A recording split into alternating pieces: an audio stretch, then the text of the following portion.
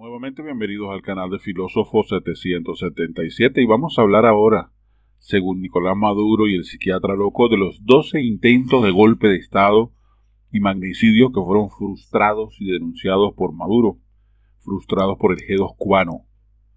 Desde que Nicolás Maduro asumió el poder del Ejecutivo en el 2013, su gestión ha sido sin nada de repetidas denuncias de planes de magnicidios e intentos de golpe de Estado para derrocarlo. Jorge Rodríguez, el psiquiatra loco, el cual ha tenido la responsabilidad de dar la cara ante tales hechos y quien actualmente eh, sirve a Nicolás Maduro de Lambebotas y como ministro de Comunicación e Información, ha sido quien ha representado a Nicolás para develar las presuntas conspiraciones desde el canal del Estado.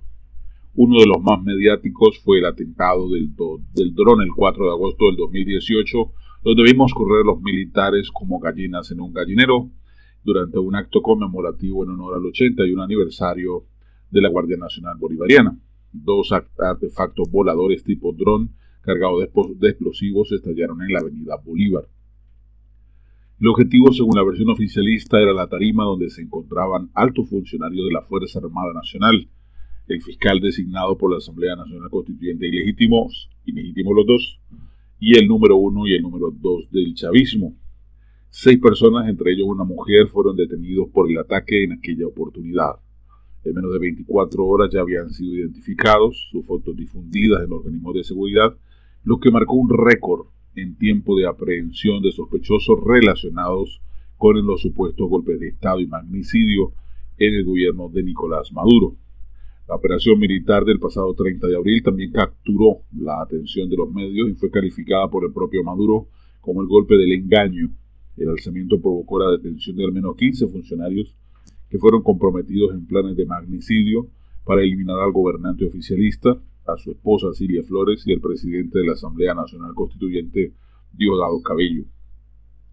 El uso de videos confesiones se ha replicado como un patrón en casi todas las denuncias se utilizan delatores y delatados para formar expedientes que tienen un simultáneo en la narración televisiva. Esto es muy peligroso desde el punto de vista porque se escapa del debido proceso del derecho a la defensa y lo más elemental de los derechos civiles, advierte la abogada y presidenta de Control Ciudadano para la Seguridad, la Defensa y la Fuerza Armada Nacional, como lo es Rocío San Miguel. Veamos a ver una sinopsis de los 12 supuestos atentados que asegura Nicolás Maduro que han hecho en su contra. Comenzó a gobernar en 2013, el primero de ellos dice que ocurrió el 10 de junio del 2013, 10 de junio, donde dice que paramilitares colombianos planearon supuesto magnicidio, eran los titulares de ese día. Nicolás Maduro denunció que nueve personas de nacionalidad colombiana fueron detenidas porque planeaban asesinarlo. Fueron catalogados como paramilitares lo vincularon con los rastrojos, con el grupo Chepe Barrera, grupo paramilitares criminales de Colombia. No se supo sus nombres, solamente la cifra de los detenidos, que han aumentado hasta 59. Actualmente están presos en un galpón de la Policía Nacional Bolivariana en La Yaguara. El Tribunal 27 de Control lo otorgó la boleta de escarcelación por no encontrar pruebas en su contra pero la revocó un año después y actualmente inclusive Duque ha hablado de esa, esa captura de las personas de manera ilegal, no se le ha permitido la legítima defensa a esos personajes. El segundo intento de magnicidio, o el segundo se llamó, se conoció, fue en agosto, el 26 de agosto del 2013. Se conoció como Operación Carpeta Amarilla. Desde el 24 de julio de 2013, autoridades cercanas al gobierno denunciaron un plan de magnicidio que se iba a ejecutar ese mismo día. El 26 de agosto anunciaron que descubrieron la operación y que el 13 de ese mes detuvieron a, dos personas, Víctor Huaches y Eric Huertas, de 22 y 18 años respectivamente. Cuatro meses después aprehendieron a Alejandro Caicedo, de 23 años, todos colombianos. Cerca de un año les tomó dar con los supuestos involucrados. El tercer intento de magnicidio se llamó Operación Jericó o Golpe Azul que fue producido en marzo del 2014. Maduro informa que existe el movimiento en su contra el 24 de marzo del 2014, cuando detuvieron a tres generales de la aviación. El 14 de abril de ese año se conoce de la detención de un guardia nacional bolivariano y la orden de captura contra cuatro, contra Juan, Juan Caguaripano y otros seis militares que fueron detenidos en febrero del 2015.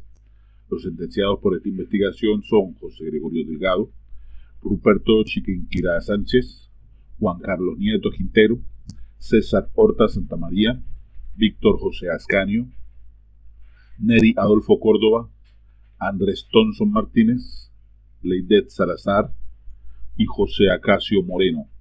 Según la versión de Nicolás Maduro, este grupo de militares usarían aviones de la Fuerza Armada para atacar sitios emblemáticos y darle así un golpe de Estado. Este fue precisamente el golpe de Estado que denunció Julio Borges, que lo hizo saber Julio Borges a Nicolás Maduro. Este fue, porque la noche anterior del 24 eh, Julio Borges se reunió, siendo eh, esperando ser presidente de la Asamblea Nacional, se reunió con ellos y él pidió que esperaran hasta el 2015, cuando ya él fuera presidente por derecho, y razón por la cual, como ellos dijeron que no, entonces Julio Borges los entregó. Señoras y señores, esto se lo tenemos que cobrar a Julito. Desde el 2014 hubiésemos sido libres si él hubiese cerrado el pico. Pero bueno. Después vino el siguiente golpe de intento de magnicidio, según donde implicaron a Machado en un atentado el 28 de mayo del 2014.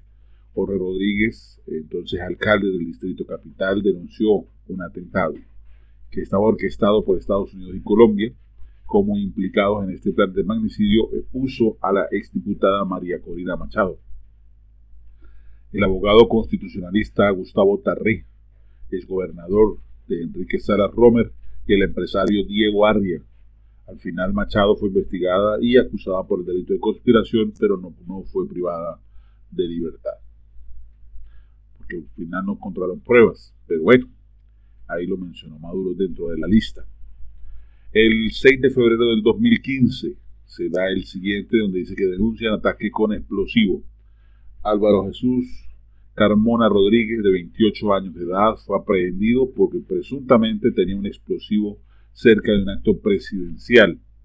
El hecho ocurrió el 6 de febrero del 2015, pero no fue denunciado ampliamente por Nicolás Maduro. Hasta ahora que está saliendo a la luz. El siguiente intento de, intento de magnicidio, según Maduro, fue el primero de mayo del 2016, donde Maduro alerta sobre el plan de magnicidio. En un acto del Día del Trabajador del 2016, Maduro volvió a informar los intentos de asesinarlo. Dijo que detectaron un plan que involucraba colocar francotiradores en el evento tradicional del 1 de mayo. Más tarde, el 14 de mayo, el presidente cierra la frontera porque tenía información de un ataque en su contra.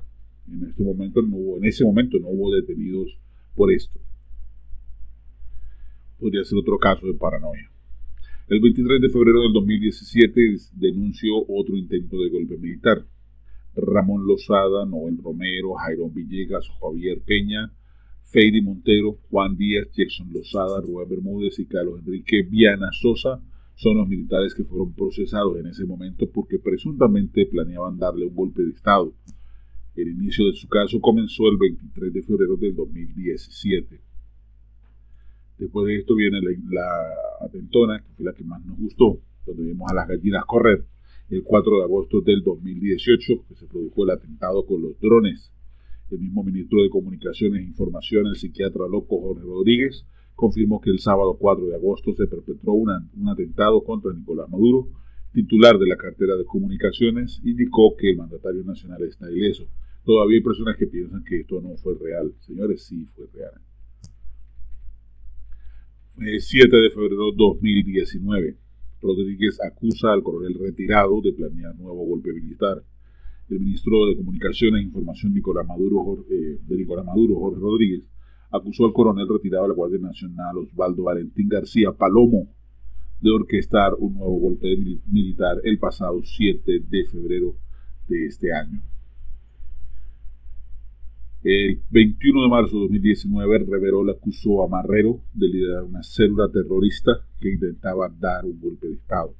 Néstor Reverol, ministro de Relaciones Interiores, Justicia y Paz, acusó a Roberto Marrero y al conductor del, al conductor del diputado a la Asamblea Nacional, Sergio Vergara, Luis Alberto Páez Salazar, de estar al frente de una célula terrorista que fue desmantelada por funcionarios del SEBIN, Servicio Bolivariano de Inteligencia Nacional, la madrugada de ese jueves 21 de marzo, porque tenían intenciones de dar un golpe de Estado. Golpe de Estado con dos hombres, bueno. 30 de abril de 2019, el golpe del engaño, así lo tituló el régimen. Fue el día que el opositor Juan Guaidó apareció en las inmediaciones de la base aérea La Carlota junto al dirigente Leopoldo López, uno de los presos políticos más emblemáticos de Maduro. El 30 de abril, de su lado aparecieron militares que se sublevaron contra Nicolás Maduro. El oficialismo tildó la acción como un golpe de engaño. Al menos seis personas fueron detenidas por la policía política hasta el momento. Recordemos que después eh, Figuera eh, confirma que él tuvo que adelantar el golpe de Estado porque eh, al parecer quien estaba liderando este golpe de Estado era Figuera en concordancia o en, en acuerdo con Leopoldo López porque habían escuchado que esa madrugada iban a detener a Juan Guaidó, razón por la cual él decidió adelantar los planes antes de que el mismo padrino lo entregara. El 26 de junio de 2019, el nuevo plan para derrocar a Maduro, Jorge Rodríguez acusó a más de seis militares en planes conspirativos que guardan relación con las acciones del 30 de abril y que buscan deponer a Nicolás Maduro para proclamar al general eh, Isaías Rodríguez Baduel, quien actualmente, Isaías Rodríguez Baduel, quien se encuentra preso. Esas supuestamente eran las intenciones y de este hecho que aparece es necesario recalcar que es donde sale, donde le quitan la vida al capitán de la Armada venezolana. Definitivamente, bueno, algunas de estas, como digo, como dije antes, podrían ser eh, presunciones psicóticas, ya sea del psiquiatra loco, paranoia colectiva que este personaje le estaría haciendo sentir a Maduro. Pero bueno, ahora falta uno que de verdad acierte. Ahora hay que decir el refrán, no habrá 13 malos, que si de verdad hubo 12, pues te faltarían 13. Y ojalá que este 13 pues tenga eh, el triunfo que esperamos. Y si viene del país, pues bienvenido sea. Entonces, hasta aquí les dejo la información. Déjame tu opinión en la caja de comentarios. Y bueno, será verdad, será mentira, todos serán verdad. Lo que sí no podemos olvidar los venezolanos fue lo que pasó en el 2014, que tenemos que cobrarse la Julio Borges. Un abrazo para todos. Mil bendiciones.